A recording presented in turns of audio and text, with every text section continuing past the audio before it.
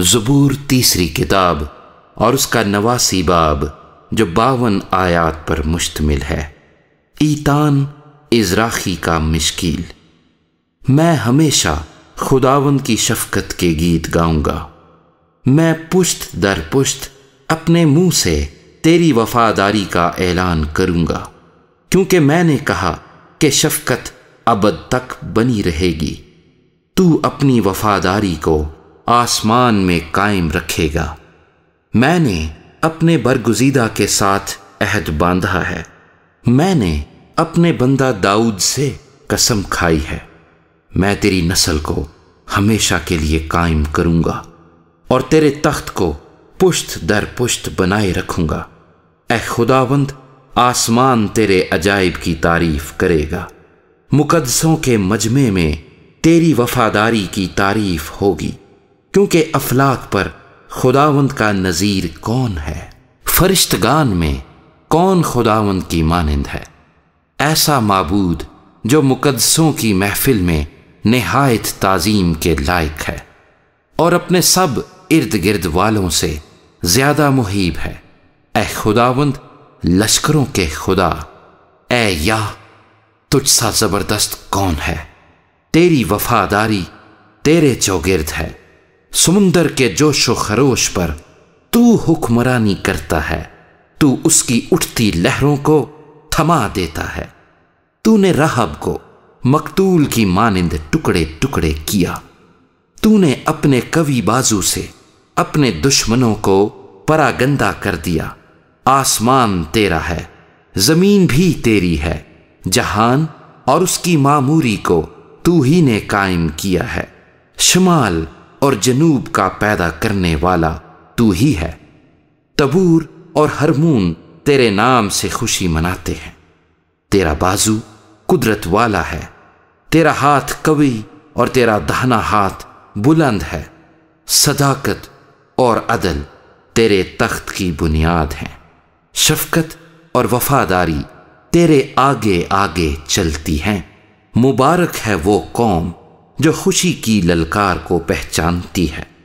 वो ए खुदाबंद जो तेरे चेहरे के नूर में चलते हैं, वो दिन भर तेरे नाम से खुशी मनाते हैं और तेरी सदाकत से सरफराज होते हैं, क्योंकि उनकी कुवत की शान तू ही है और तेरे कर्म से हमारा सींग बुलंद होगा, क्योंकि हमारी सिपर खुदावंद की तरफ़ से है और हमारा बादशाह इसराइल के कुदूस की तरफ़ से, उस वक्त तूने रोया में अपने मुकदसों से कलाम किया और फरमाया कि मैंने एक ज़बरदस्त को मददगार बनाया है और कौम में से एक को चुनकर सरफराज किया है। मेरा बंदा दाऊद मुझे मिल गया। अपने मुकद्दस तेल से मैंने उसे मसा किया है। मेरा हाथ उसके साथ रहेगा। मेरा बाजू उसे तकवीत देगा। दुश्मन उस पर जबर ना करने पाएगा और शरारत का फर्जंद उसे ना सताएगा। मैं उसके मुखालिफों को उसके सामने मगलूब करूँगा और उससे अदावत रखने वालों को मारूँगा। पर मेरी वफादारी और शफकत उसके साथ रहेंगी और मेरे नाम से उसका सींग बुलंद होगा। मैं उसका हाथ समुंदर तक बढ़ाऊँगा।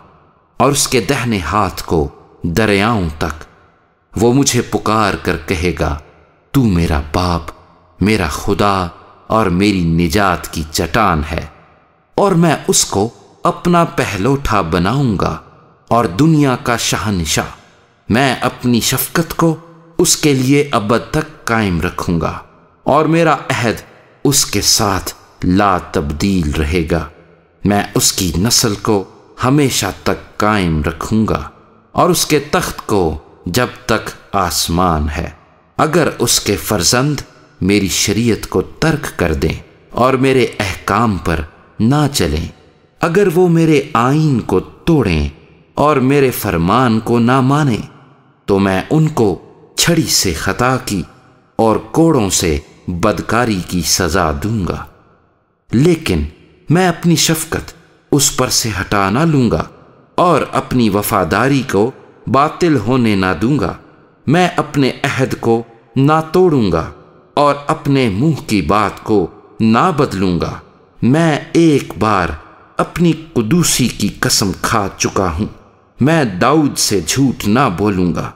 उसकी नस्ल हमेशा कायम रहेगी और उसका तख्त आफताब की मानंद मेरे हुजूर कायम रहेगा।